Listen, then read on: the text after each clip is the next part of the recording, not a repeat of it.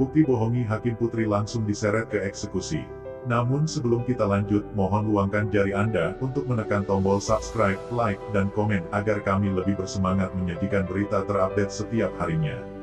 Putri Chandrawati langsung menangis histeris setelah hakim menaikkan hukumannya dari 8 tahun menjadi seumur hidup.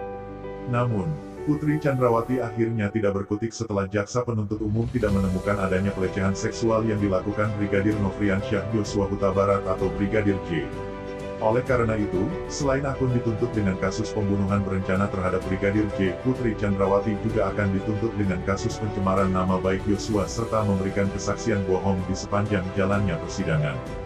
Menanggapi hal tersebut, pengacara Putri Chandrawati tak terima jaksa penuntut umum, GPU, menyebut kliennya hanya menghayal soal klaim kekerasan seksual yang dilakukan Nofriansyah Yosua Huta Barat atau Brigadir J.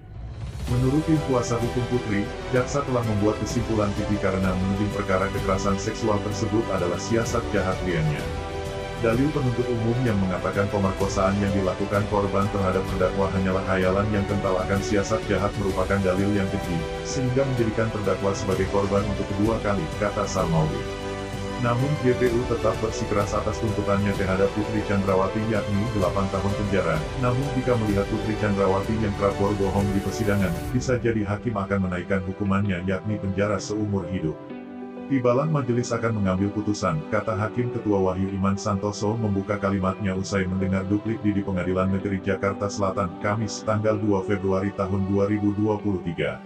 Setelah berkonsultasi dengan hakim anggota, hakim ketua menyatakan jadwal dari sidang vonis terhadap Putri akan dibacakan pada dua pekan lagi atau tepatnya tanggal 13 Februari tahun 2023. Itu saja yang dapat kami sampaikan, jika ada salah kata mohon dimaafkan, karena kesalahan datang dari saya pribadi, yang tak luput dari salah dan dosa.